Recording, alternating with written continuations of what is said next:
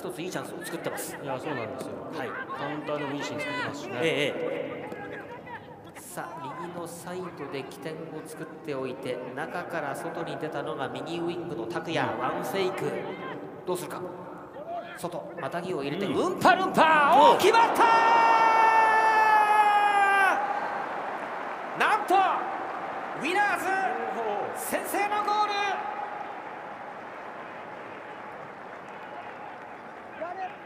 右サイドアタック。フィニッシュしたのはこの TikTok フォロワー150万人。